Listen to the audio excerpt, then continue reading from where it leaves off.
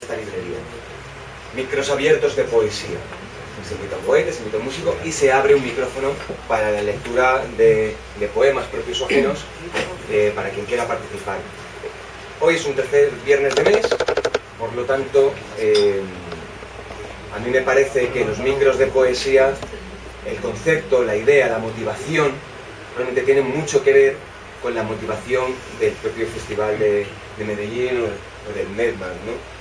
Que es esta idea también de dar voz, de dar palabra, de hacer fusión eh, de la gente, de relacionarnos, de compartir, etcétera, y de poder crear una, de algún modo un ecosistema eh, pues, mejor y, distinto. En, concreto aquí desde la librería sí que se, se hace, ya digo, no solamente con los micros, también con otras cosas, pero en concreto con el micro se intenta, dentro de nuestro ámbito, nuestro entorno, como es este, este pueblo, en nuestra, provincia, pues efectivamente crear un, movimiento de complicidad mm, popular, digamos, y, de diálogo, participando eh, por medio de la poesía, con el vehículo de la poesía.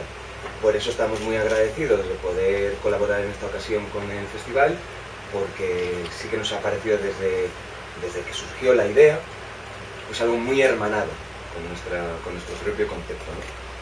Lo más parecido a eso es lo que vamos a ver ahora, que es pues, un, digital eh, donde diferentes poetas van a aportar sus, creaciones y vamos a poder eh, pues, dialogar por medio de la poesía.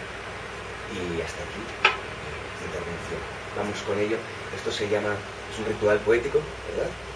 Y se va a enlazar con algo que se, se está haciendo o sea, los rituales poéticos que se están haciendo en diferentes puntos eh, en el medio.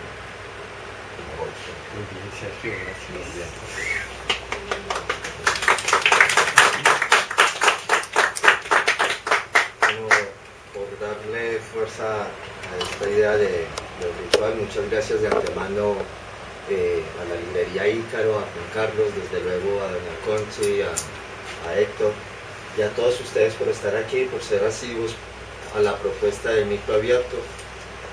Y pues muchas gracias por este espacio y porque aquí ya comienza Mesmar. Vamos a tener dos bloques de poetas y entre medias sorpresas que vamos a ver cómo vamos a sacar música con lo que tengamos. Así que pues buena noche y que disfruten esta noche.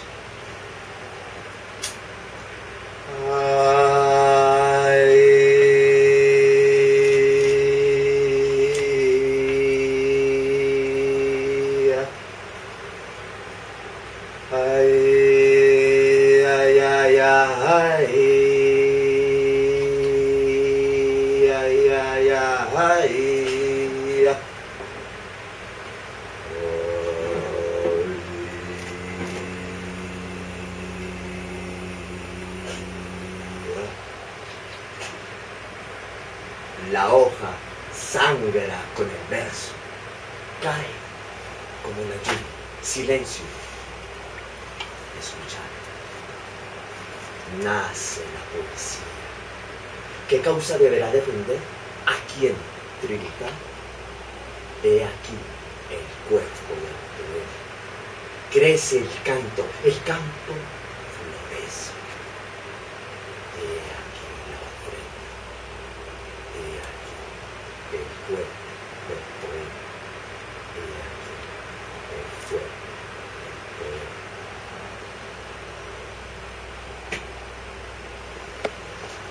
Pues ahora llamamos a Rafael Sarabia.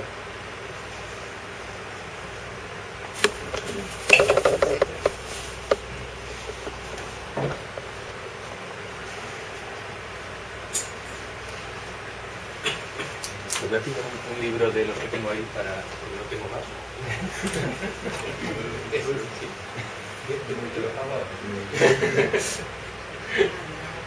Muchas gracias, amigos.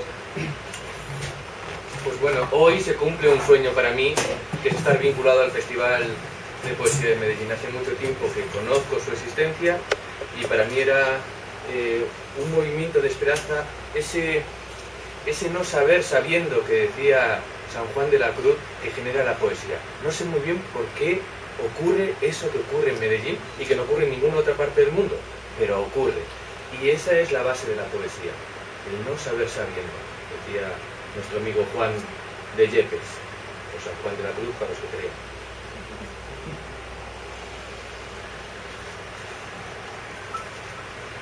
Altazor y la subida de la luz.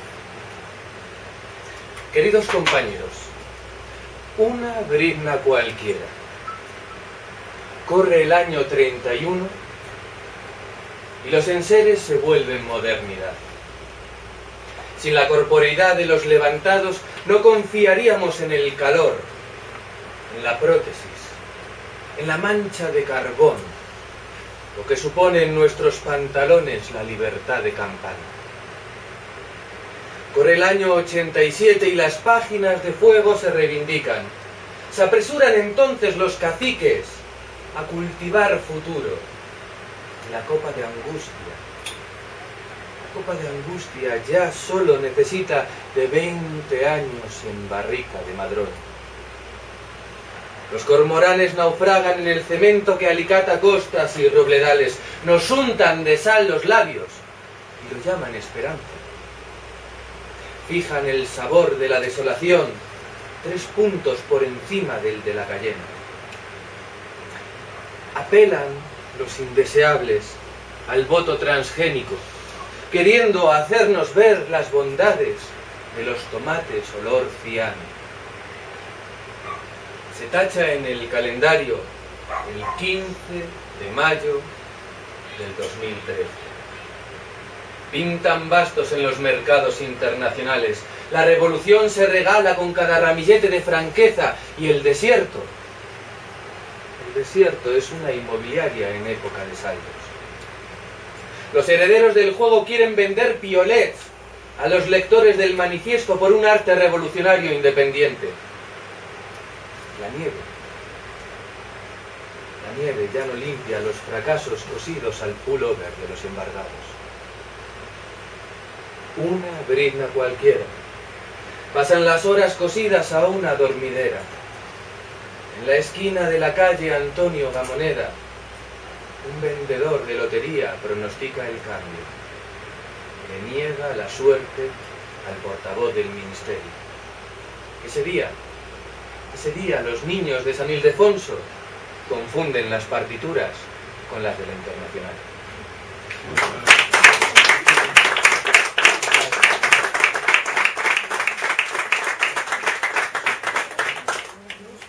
Son dos poemas, Rafa. Son dos Sí, poemas. sí. Son dos poemas, sí. Vale, Para que lo soluciones ahora, te damos la oportunidad. vamos a solucionarlo.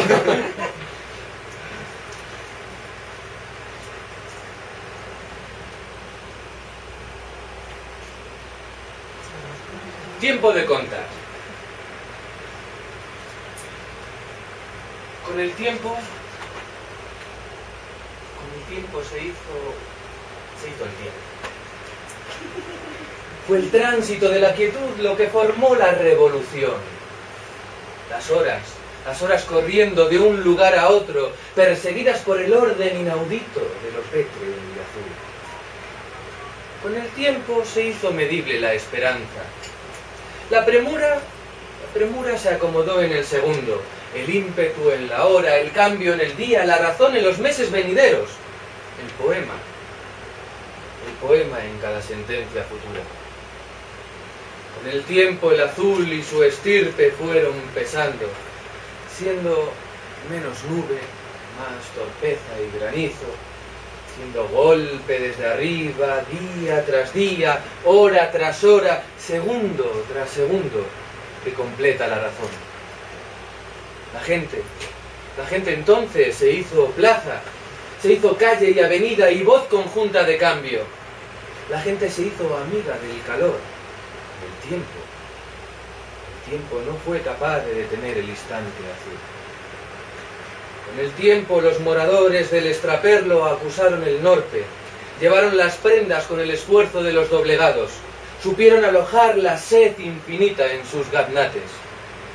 Ahora, ahora ya sin tiempo, la fe, la fe es una hortaliza en promoción. los segundos terminan sin estorbos, el ramaje absurdo del domador de índices. Ahora, ya sin tiempo, los olifantes se apean del verbo y apuran los camaradas, dos manos al día, en pro del vocablo futuro. Muchas gracias.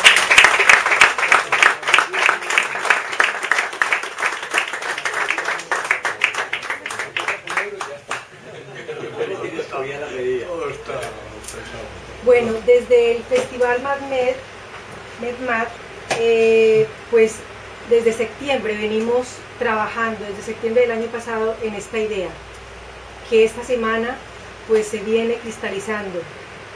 Han sido unos días muy arduos, pero que realmente recogen como ese sentimiento que queremos darle a la poesía, que es aquella que nos revuelca el corazón, aquella que nos deja pensando.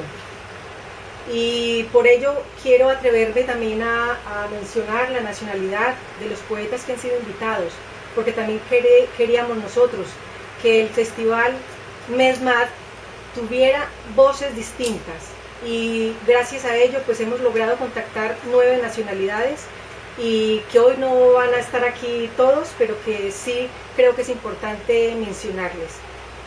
Llamo entonces a Mauricio Vidales, poeta colombiano.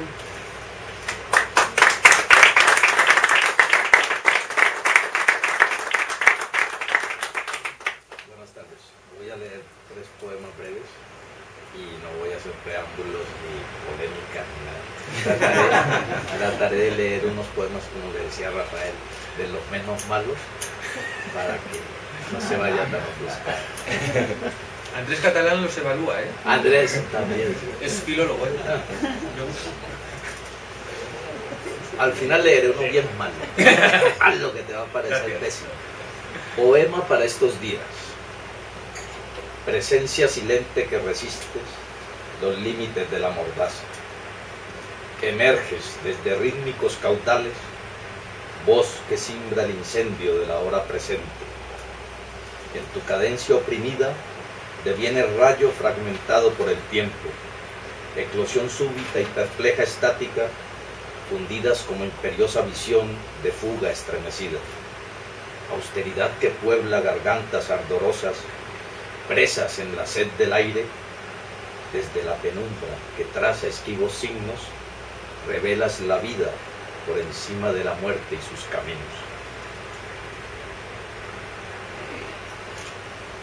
Este es un poema dedicado a los poetas del Bar Aicha que nos reuníamos en Lavapiés, más o menos en el año 2008, en un bar que se llamaba Aicha. Íbamos poetas de diversas nacionalidades compartíamos ahí. Se llama Por la senda de los poetas. Llego desde la casa de los poetas, la casa del amor, del recinto alado, donde jamás podrán encerrar el grito que germinan los seres que alimentan, la vigilia de pájaros henchidos de memoria, de miel y labores creativas, en la trocha de los muertos, riegan con su canto las tumbas de los olvidados, mientras despiertan a los vivos, siembran sin arados, con alma, corazón y vino, el tiempo de los abrazos. Ellos hacen olvidar el frío de la cercana calle, azote de la indigencia y arrojan frente al rostro de la indiferencia social un manto cálido para cobijar los huesos y la mirada de los que rumian sus sueños en el gris asfalto que cambiaron por verdes praderas. Ellos no saben del desdén, del voltear la cara ante la ignominia. Ellos solo saben obedecer al hondo desgarro que los cerca para acrecentar su lucha. Están allí prestos al abrazo, son el sosiego del guerrero y el lecho de la esperanza. He venido recordando sus cantos hasta mi dormitorio, desde la casa de los poetas en Lavapiés, y mis manos, mis pies y mi corazón no necesitan ahora lavatorios. Llego limpio desde sus voces, sus brazos y sus ojos. Y el tercero, un poema de amor, Conjuro. Cayó el muro de Berlín y la Guerra Fría ardió en silencio. Cayeron las torres gemelas y las doradas huellas de Bagdad con ellas. Caen indigentes postrados ante el hambre y muchedumbres arrasadas por las balas como hiedras que tapizan los caminos. Impunemente se derrumba la palabra, la inteligencia y la verdad. Todo cae en esta oscura noche, todo se esfuma sin remedio. Tras la fantasmal humareda, solo queda en pie la palabra muerte y el horror centuplicado en los rostros por el imperio de la mentira que avala la barbarie por decreto. A pesar de todo y contra todo, más allá del odio y su gris escudo, como erguido vigía flameante, mi corazón derrota la desesperanza para evocarte en el fragor, en la danza de los cuerpos en batalla, en la agonía que nos permite aspirar a la inmortalidad, en el fugaz instante de gloria, cuando rozamos el olvido y rebasamos el prosaico mundo de hollín y fosa abierta para conjurar la muerte que nos ronda.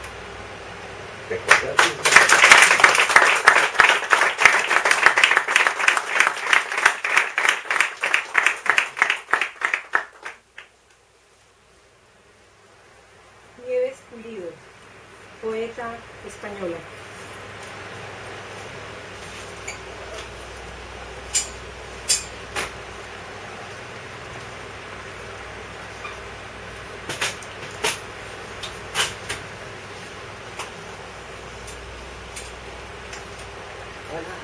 Gracias por invitarme y, y a leeros un par de poemas. Em, Este se llama Spleen. El yo es una revolución industrial, maquinaria pesada, forma rusa, desencanto o un verdadero tren. ¿Cuándo fue que descubrí que había dos clases de trenes? Cuando supe que había dos clases de cada cosa y que eran fáciles de confundir. Resulta comprensible. Los vendedores de paraguas y los hacedores de lluvia son casi idénticos. Solo los motivos los distinguen. Los hacedores de lluvia quieren hacer lluvia, aunque vendan paraguas. Los vendedores de paraguas quieren vender paraguas, aunque hagan lluvia. Junto a mi casa pasaba un tren. Al otro lado de las vías había un bar con una máquina de bolas de chicle en la puerta y en la esquina había una fuente. El sol en las aceras rotas y llenas de caca de perro. Qué aburrirse allí en pie apoyado en la pared, elegir un color, mirar cómo llevaban los hombres cuando la sequía, cómo llenaban sus cubos de agua.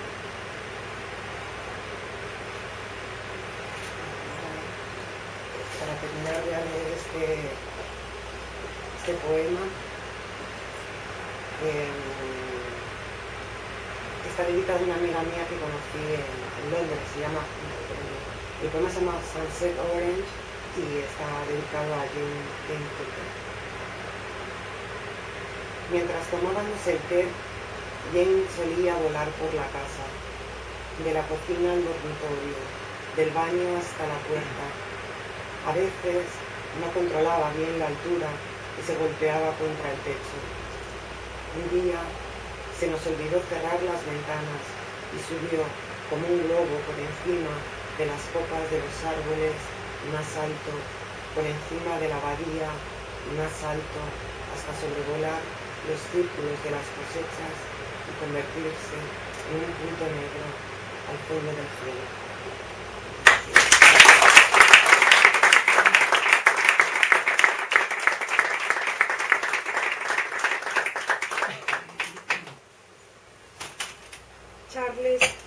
De Nueva Zelanda.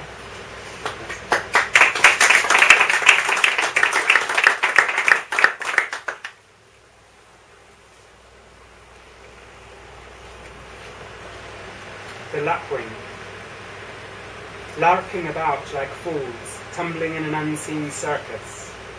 Lapping wings, flapping wings, swoop and roll to that jazzy cry. Occasionally, my brush fumbles to the same rhythm, collecting thought the way the lapwing catches its sustenance in the air. El ave fría.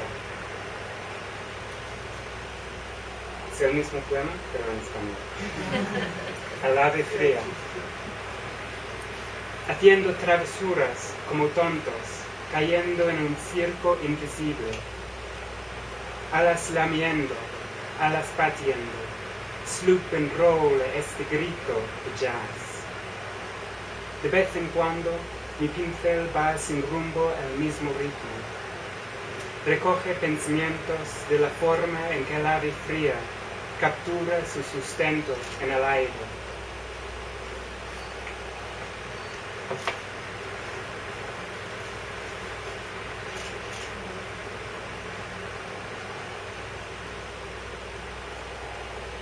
Patio tejido. Es un buen día para encontrarnos con los extraterrestres, dijo la abuela.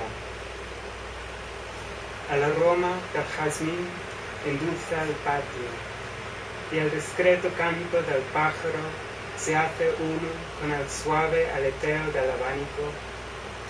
El perro sigue tumbado con las patas estiradas y el, niño apunta su dedo, pistola al cuadrado azul del cielo y dice, no van a negociar.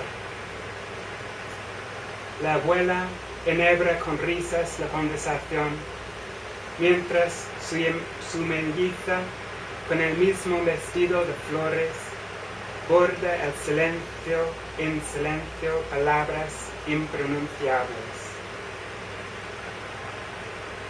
Y uno cortito. Sueño del granjero. Finas agujas de agua tejen una nube al techo de paja. Las hojas del álamo conversan con el viento. Y en el establo, un caballo negro sacude su crin. Fluir de sombras. En la oscuridad de su ojo baila un ángel.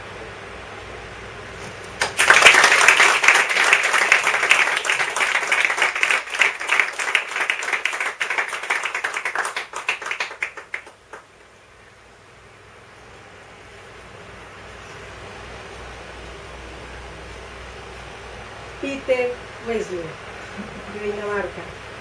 Pues Wesley.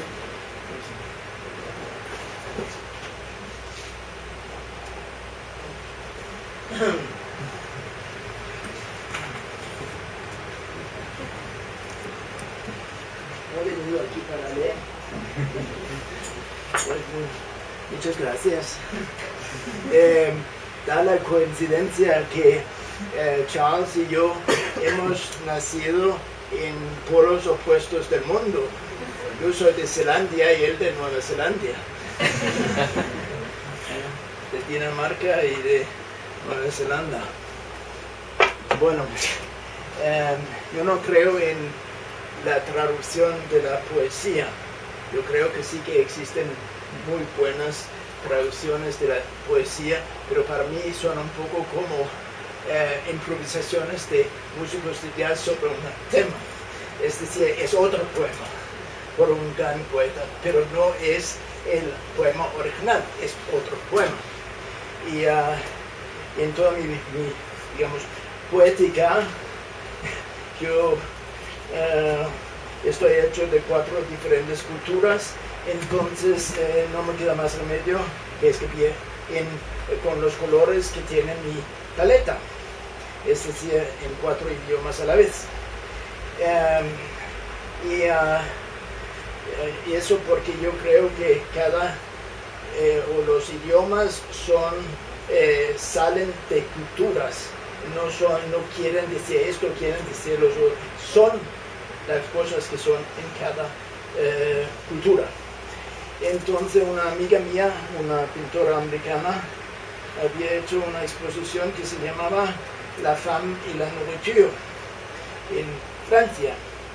Y uh, Y cuando volvimos a Madrid, estuvimos en mi casa comentando esta exposición y alguien dice, ¿y eso qué quiere decir la fama y la noche? Y yo digo, este no se puede traducir, lo siento mucho. Y mi mujer dice, ¿y cómo no se puede traducir? Y va, y busca el diccionario y busca nourriture. Y efectivamente hay varias traducciones al español de nourriture, pero no es nourriture francés, es otra eh, cosa. Entonces de eso va este poema. Curiosamente cuando yo estaba leyendo este poema en varios sitios en Europa, a veces la gente dice, ¿y qué quiere decir la nourriture? Yo no preguntes. Ok. Se llama On the Difficulty of Translating La Femme et la Nourriture into Spanish. La femme et la nourriture n'est pas pareille, pas igual a la antiséptica y pedante mujer y la alimentación. La tan llevada y tan traída que ni la notamos, mujer y la cocina. La mundana mujer la comida. O la ya cumplida mujer y la mamá. La femme y la nourriture no son cinco palabras seguidas, pursuing a sense, a meaning, sino a fundamental chord, a résonance infiniment plus près de la tierra, closer to and yet darker than earth. Plus originelle et plus universelle, elle n'a pas d'objet. She is nurturing nature, cru au brûle. La femme est, et la femme est la nourriture. Et euh, un poco de jazz rápido, que se llama To Be or Not To Be dans sa peau. Alguien me dijo que, que, que, no había aprendido a ser cool en Spanish. Este era mucho antes de que cool. Se convirtiera en una palabra que dicen ya los españoles, pero entonces cool. No se sabía muy, bien lo que era esto en español, entonces el poema eh, trata de esto un poco, de palabras. Todavía no he aprendido a ser cool en Spanish. The French can be très cool, et moi aussi. Je peux avoir le timing and the timing, og selv på dansk kan jeg timing og være cool som en kat. I can swing and be upbeat and downbeat cuando tú quieras. But when the weekend comes around, not even a copper kettle is more at home than the Spanish. Du kan være hjemme og hjemme i det hele. Tu peux avoir ton chez-toi et ton terroir. Et même si tu n'en as pas, tu peux être parfaitement bien dans ta peau. But nobody's got su tierra like the Spanish. And even my hometown is not pueblo enough to be pueblo.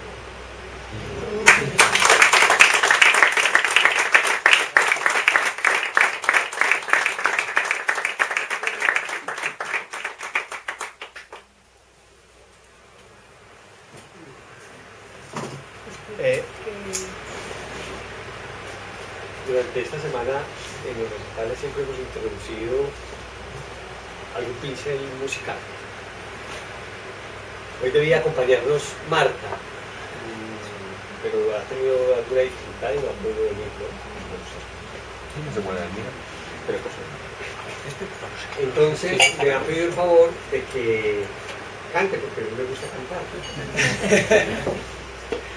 y quiero compartirles un poema de Carlos Castro Saavedra, que es un poeta que murió ya, un poeta colombiano, ya fallecido, pero que durante la década de los 50 y 60 se dedicó mucho en una poesía, lo llamábamos así, que es la poesía social, digámoslo así, una poesía que muchos otros describieron como poesía épica, porque hizo una especie de descripción de aquellas gestas liberadoras del imperio español y otros le llaman poesía obrerista,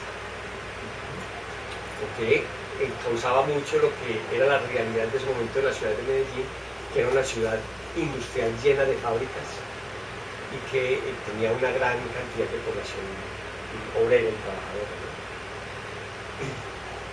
Esta, este poema lo he adaptado a una canción con guitarrita, pero se van a imaginar la guitarra.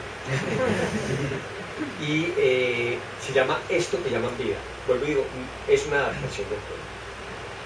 Así, así.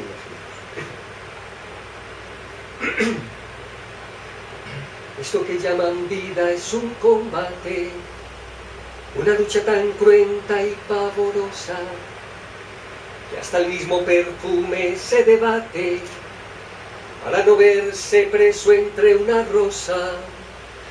Por todas partes crece la acechanza, guarda la espada el filo entre la sombra, y es así tan terrible la matanza. Que nadie ve, que nadie ve, que nadie ve la herida que no nombra. Defiéndete, levántate, que no embosquen tu risa, pellizcate mi bien, ven y álzate, acúsate, que esto que llaman vida vida sea para defenderte. Hay que luchar con todo y contra todo para no ver deshecha la esperanza y no caer de bruces en el lodo por donde el hielo de la muerte avanza. Yo que sé del camino amenazante y de la noche en crímenes tallada. Siempre llevo la mano vigilante sobre la empuñadura, sobre la empuñadura, sobre la empuñadura de la palabra. Defiéndete, levántate, que no embosquen tu risa pellizcate mi bien, ven y álzate, abúsate. Que esto que llaman vida, vida sea para defenderte.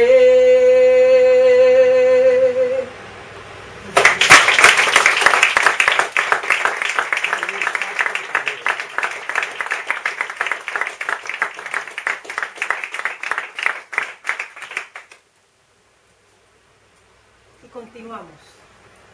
Lilian Payares, colombiana.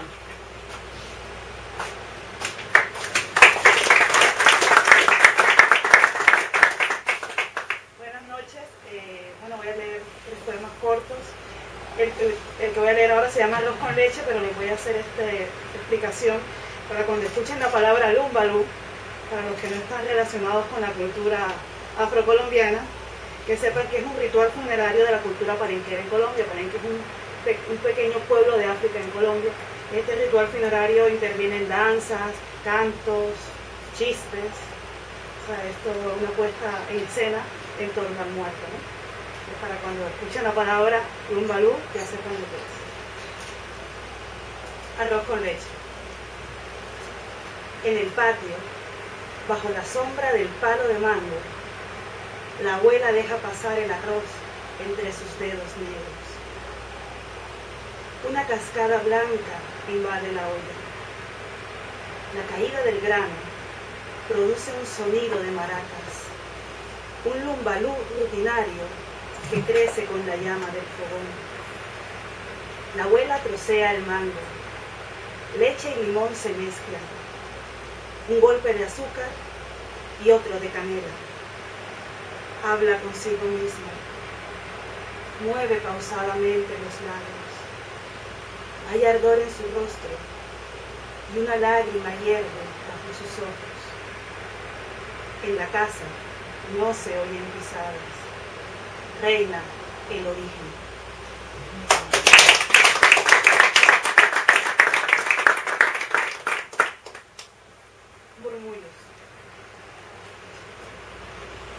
La brisa de la tarde mece la puerta.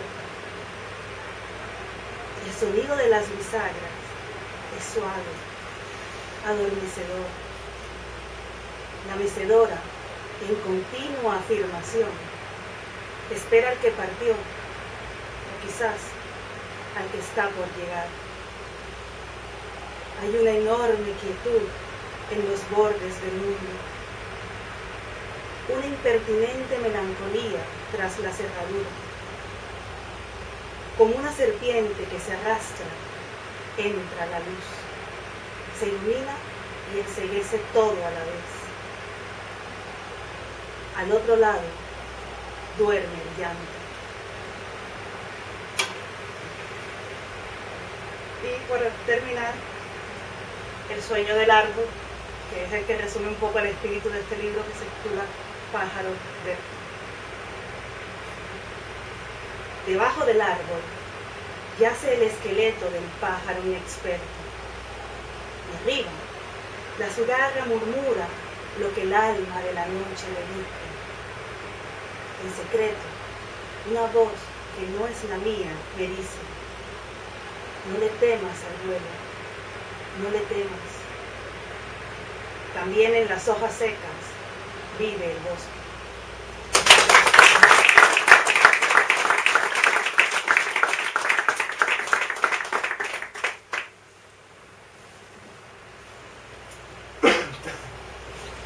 Emilio sí. Silvi. Bienvenido, de España.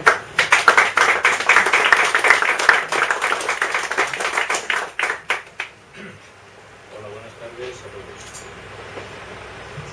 Muchas gracias en primer lugar por la invitación, por la librería y por, por la organización de, parte de,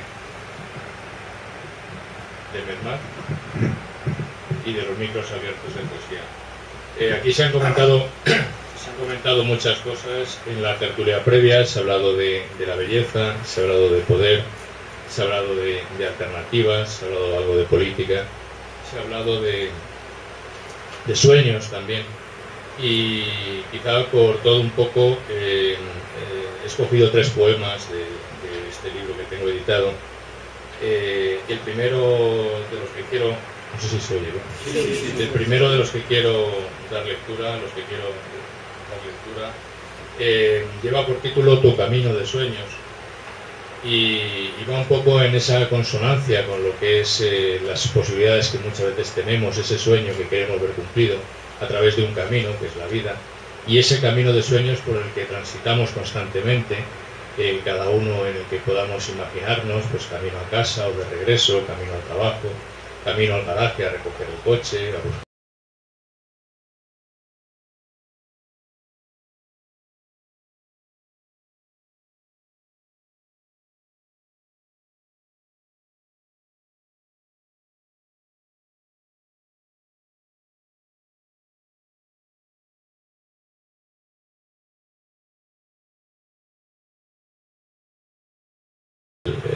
poema, las, oportunidades que podemos tener siempre. Cada uno las podemos en ese caminar eh, ver o sentir de una manera, pero seguro que tenemos todos ese camino, ese sentimiento en el que queremos eh, ver hecha verdad las, las ilusiones. Eh, el poema dice, tu camino de sueños. Este camino de arena en el jardín es el que, lleva, el que te lleva derecho hasta tu casa. La arena está apelmazada y dura y es mil veces pisoteada cada día. Ni siquiera el agua es capaz de hacerle un pequeño surco o agujero. Mil pisadas al día lo pisotean con los pies, zapatos, ruedas de coche y bicicleta, ruedas de patines, ruedas de carretillas que nos ruedan, con andares ávidos, andares con prisas, andares pensativos y solitarios, con andares vida y vuelta, de norte a sur, de noche y día enamorados, con andares enfadados, con andares de ilusión y ensueño, con los andares niños y los andares viejos.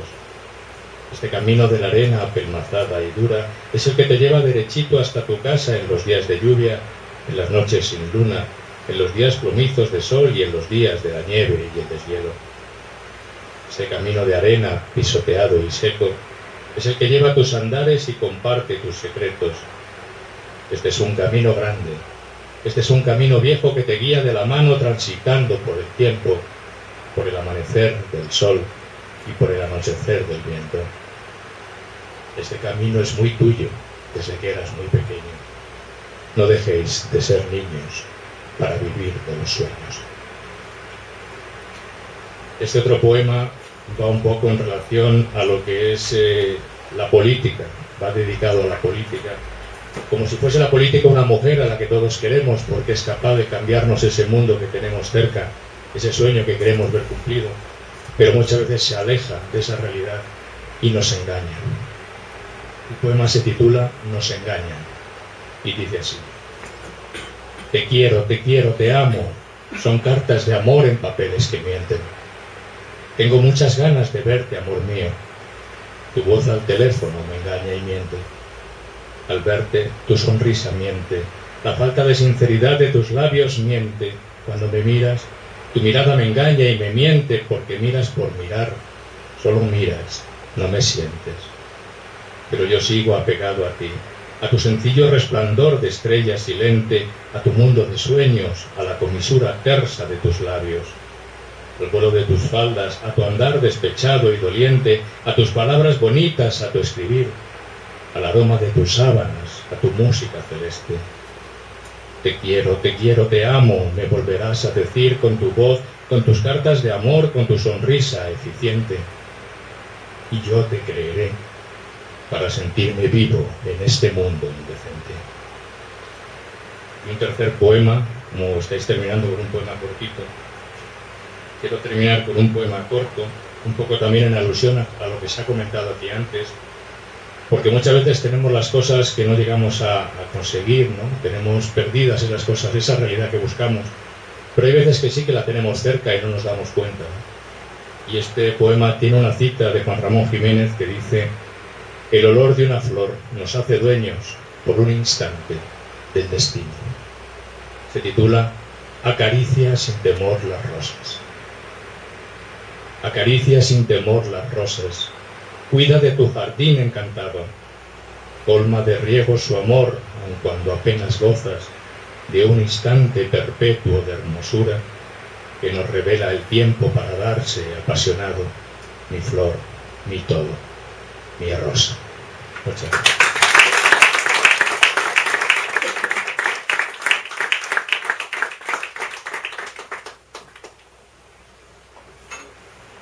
Andrés Catalán.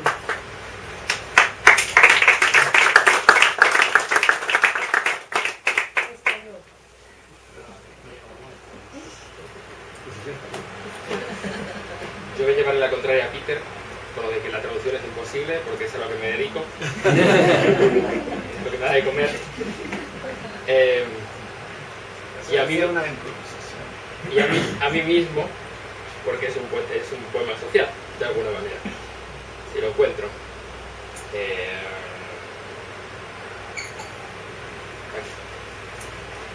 es un poema de Philip Levin, el poeta que os decía, anarquista, Trabajaba desde los, desde los 14 años en las cadenas de montaje de la Ford, en Detroit, y en los 60 se vino a, se vino a España, vivió un año en España, y empezó a escribir poesía porque, leyó a Lorca. La, la búsqueda de la sombra de Lorca. He visto la ladera, una ligera brisa que se mueve por entre las hojas de los olivos. Sí, este es un poema sobre una muerte histórica. Estaría incompleto si no hubiera una ladera poblada de olivos sus hojas volviéndose plateadas cuando las sacude el terral.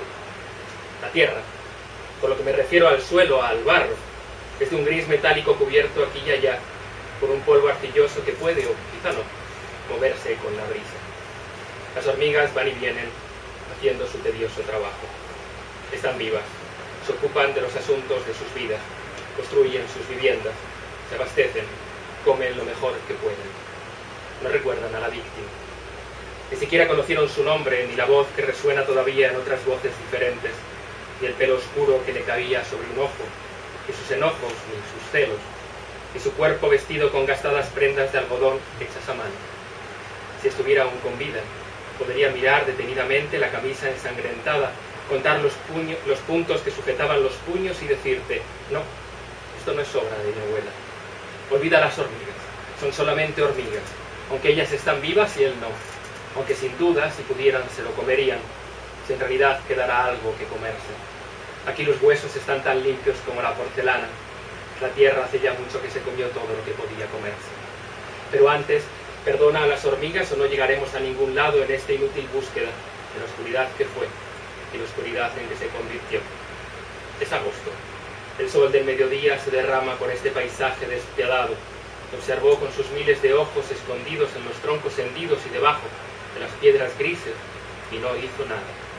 Alguien escribió, el crimen fue en Granada, aunque en realidad sucedió aquí entre las hormigas, las piedras, el polvo, los olivos, la fruta caída, las botas de hombres armados, los gritos de mujeres y hombres, donde ahora hay solamente silencio y ninguna oscuridad que podamos llamar suya. De Federico.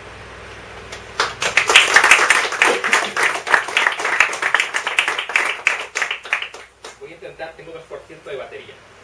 Eh, voy, voy a intentar leer un poema del libro nuevo, si logro encontrar un librito que he puesto.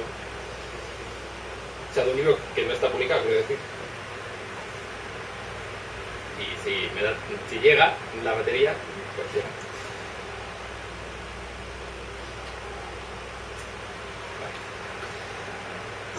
Que no va a llegar, me parece a mí. Bueno. A veces la asistencia se reduce a estar dentro de una habitación o fuera de ella.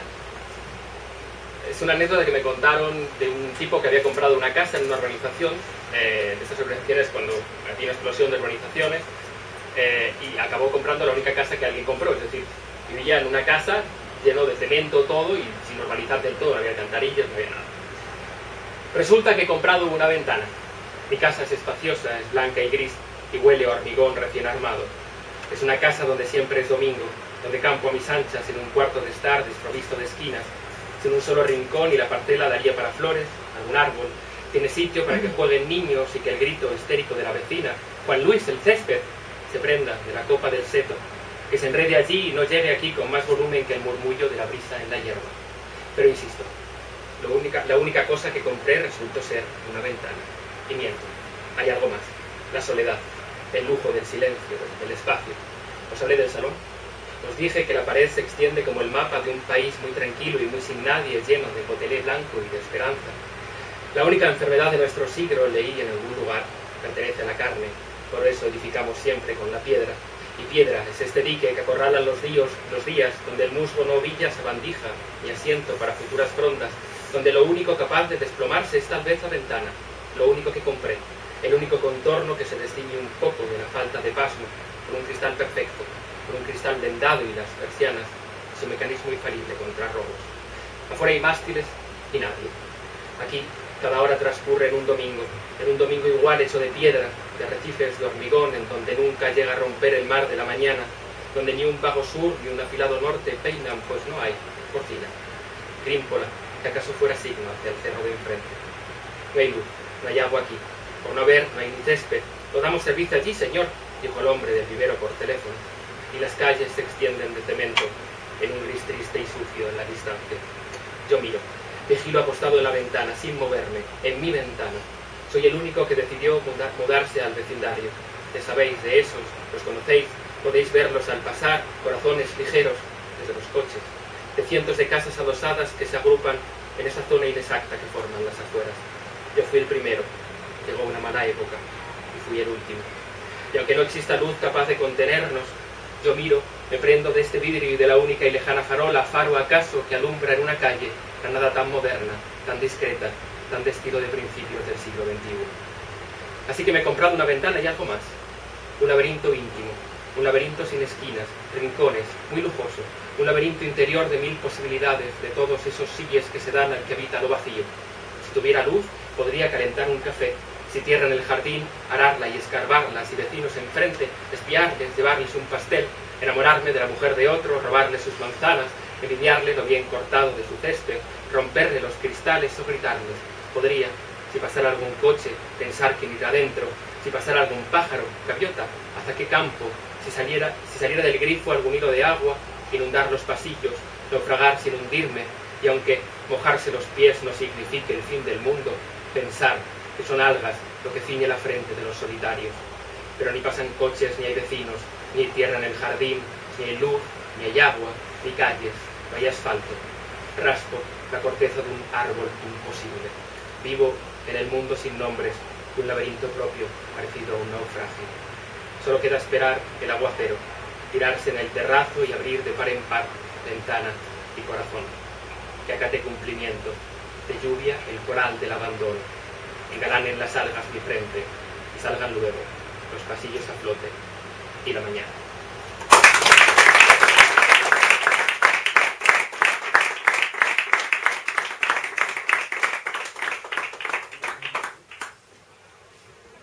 Sergio Artero.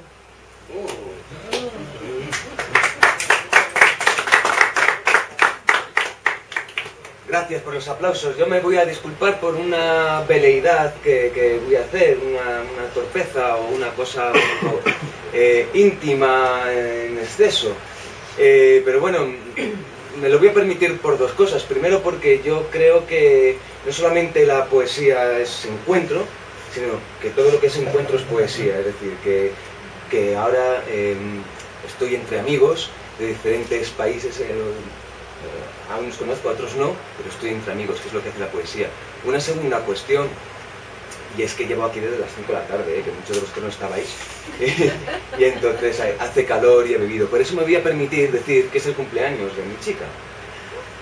Y a ella le voy a dedicar este poema, ese es el primer, la primera veleidad. La segunda veleidad es que además es uno de los primeros poemas que yo he escrito, o al menos de los que conservo. No sé datarlo bien, pero bueno, serían 13 años o 14 años o algo así. Es mi segunda veleidad, permitidmelo esta noche. Es para ella que es su cumpleaños. Sencillamente la digo, solo por estar contigo, todo, todo aquello que me aterra lograría con tu ruego. Congelar agua de fuego desde el fondo de la tierra, hacer de estrellas collares y de lágrimas pendientes. Son un juego de corrientes en el mismo de los mares. Cambiaría tu destino y el tiempo si tú quisieras. Y aquí hay cometa travieso, y tu vida. Pero lo quieres. Sí. Sencillamente para eso. A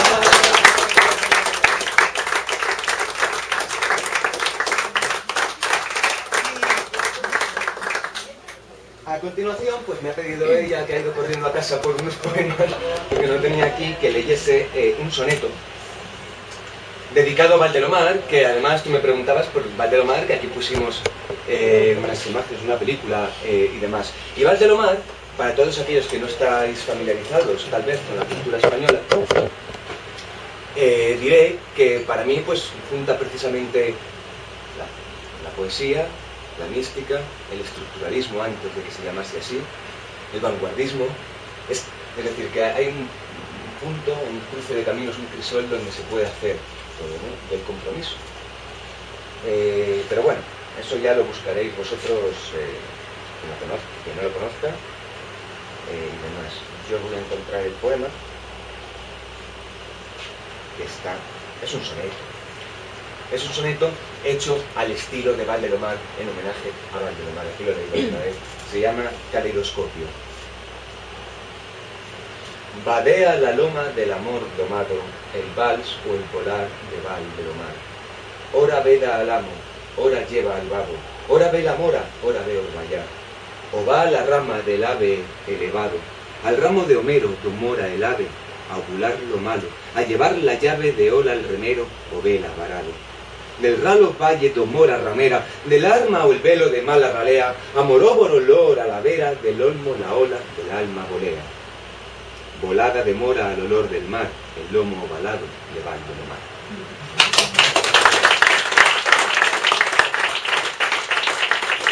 Ya que estoy leyendo tres un poco para desintoxicar, leo rápido. Uno breve. Horrores de Gran Guiñol, dedicado a Oscar Metenier. Aquí, señores, se ha soñado en vano. Se ha tocado un concierto de despojos con una partitura en trampantojos, pero todo ha quedado tan lejano. Aquí, señores, se ha soñado en vano. Todo fue artificio ante sus ojos. Un estudio cromático de rojos con un fondo adecuado de piano. Ese sueño, o verdad, ya poco importa. Se hizo un juego de fuentes con su aorta y con él se acabó cuanto soñara. Nosotros apretamos bien los dientes, pero luego salimos sonrientes con la sangre de otro en nuestra cara.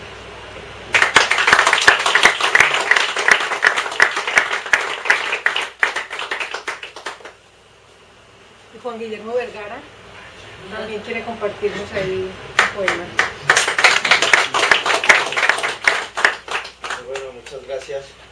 Y este poemita yo solo quiero compartir un- uno, este, por ejemplo, se me va ocurriendo por el ambiente que vamos teniendo. Este se llama Lección. El día es claro y tranquilo. En la plaza la feria abre sus puertas. Enredado en el dedo del niño, un globo se eleva al cielo. ¡Bum, catabum, bum, bam! ¡Bum, catabum, bum, bam! Cae una bomba y dos, tres y cuatro. El globo enredado en el dedo del niño en el cielo se pierde. ¡Bum, catabum, bum, bam! ¡Bum, catabum, bum, bam! ¡Oh, Dios mío, mi niño! ¿Dónde está mi hijo? Pregunta la madre. En el jaleo pierdo la cuenta de cuántas bombas caen. La tarde muere en el horizonte. ¿Qué es esto, papá? ¿Qué es esto? La guerra, mi niño. Esto es la guerra. No pasa nada.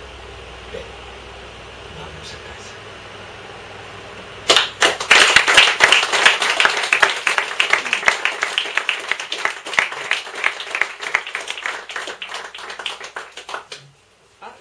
Venga, venga, Juan. Juan, No, no, no, ya, ya, Juan. ya, ya, ya. Sí, sí.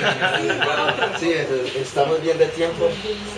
Bueno, Sí. tenemos toda la noche por delante. Pues bueno, yo quiero compartir este poema que tiene. ¿Alguien más va a leer? Exacto. ¿Valiente con arroz? ¿O con versos? vale. ¡A la venga! Venga, sí, claro. Pues, pues gracias. Pues entonces este poema se llama Memoria de un hijo y tiene una nota que es una nota que viene, se ha, se ha escrito en las comunas populares de Medellín, que dice, cuida tu cuerpo y tu cara y serás un cadáver deseable. Memoria de un hijo. El hijo. Hasta que vuelva el sol del mar azul de los amantes y la plateada luna en silencio, sangre, músculo y entraña. Hasta que en el ocaso el grito del hombre irrumpa contra la posesión del amo, nosotros, ellos y uno. Hasta que este ahora ya pasado sea camino. Ay, ay, ay, ay, ay. Oh patria, muere. La madre. Entrar en la delirante danza del poema y del ensueño. En esta desnudez vital de los cuerpos en batalla, ruptura y pugna. Sí, señores. Oh, señores, este es mi hijo. Siendo niño se fue de casa calle abajo hasta perderse en la ciudad. Salimos a buscarlo, pero no lo encontramos. Regresó a su tiempo. Hay que perderse para encontrarse, decía. Quería ser poeta. Sí, este es mi hijo. Miradle ahí. Regresó para morir. Descansa en paz. Alzo estos coros contra la muerte. Alzo estos coros contra la muerte.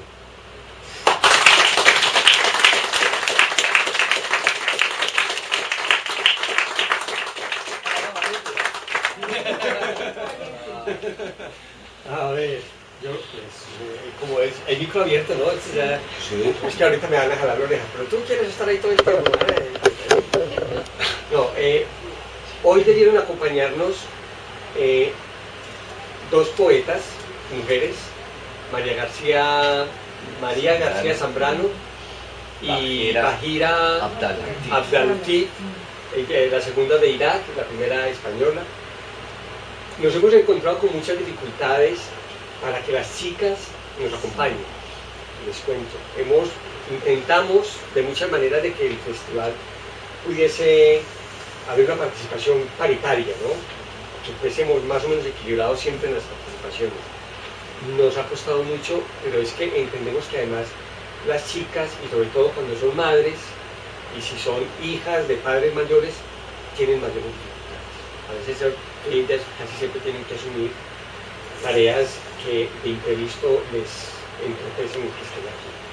Quería aclararlo porque, bueno, porque fue una consigna El poema que quiero compartir es un poema normal, es que soy el mayor de unas hermanas y eh, he tenido la suerte siempre de que a ver, de que las mujeres que me han rodeado me han soportado. En fin, que salió esto, revisando un poco mi historia. Las que me izan. Soy las mujeres que me izan. Yo un trapito aventurero, ellas hasta. Soy nada más a fin de cuentas esas mujeres que me alzan. Una madre que no deja de crecer en su ternura, en su atajo siempre atento para curarme el asma. Ella asoma a las trampas de mi siglo cada vez que viene a verme la mirada. Una hija que es aire, pacto nuevo, una pregunta en flama destrozando la tenaza que tiene la verdad cautiva en un rincón oscuro de su aula. Unas hermanas guardianas de la sangre, sabiondas maestras de catapis, inmensas sirenas de su agua, el relato de una sopa a tres bocas, imperio infantil, guerra de almohadas. Y una hija. Novia sin tiempo, piel bajo sombra, bebida en el desierto, beso en mi aliento, reto a la antorcha, una mujer que me combate pleno como al papalote la brisa de una tarde, soy su figura trazada en mil bosquejos, soy vino en ella que al tragarse late. A fin de cuentas, soy aquellas que me izan, y de ellas todas soy su amor, una fémina suma de sus tallas. Yo, un trapito aventurero, ellas hasta.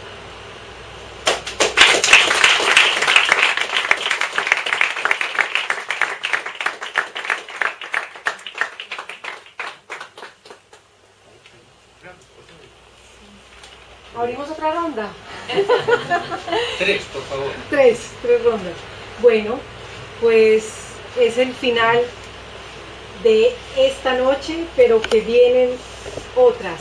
Mañana es el cierre del festival MEDMAT, eh, lo haremos en, en, el Retiro, en el Palacio de Cristal, donde está ubicada una jaima eh, bellísima por un artista sevillano, Federico Guzmán, y que estáis cordialmente invitados, invitadas a que os hagáis presente en este final del festival que apenas es un comienzo, porque nuestra idea es cada año hacerlo.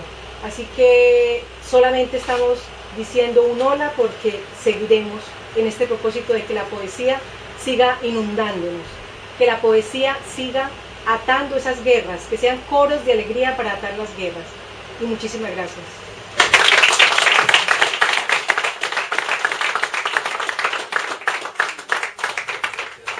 Bueno, desde la librería sí que queríamos eh, daros las gracias a toda la organización del, del MedMat por habernos dado la oportunidad de, participar en, en, algo tan, tan bonito y especialmente pues dárselo a Juan no solo por esto sino porque bueno es, es habitual colaborador nuestro también darle las gracias eh, públicamente por contar con nosotros en todo lo que, lo que piensa.